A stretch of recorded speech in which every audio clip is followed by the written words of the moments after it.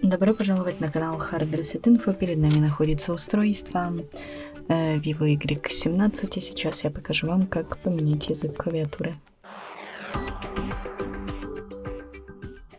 Итак, для этого мы открываем где-нибудь клавиатуру. Далее нажимаем на значок шестеренки. Выбираем языки, нажимаем добавить клавиатуру, выбираем какой-нибудь язык, нажимаем готово. Теперь возвращаемся нажимая на вот этот значок, мы можем переключаться между языками клавиатуры. И на этом все. Спасибо за просмотр, ставьте лайки, подписывайтесь на наш канал.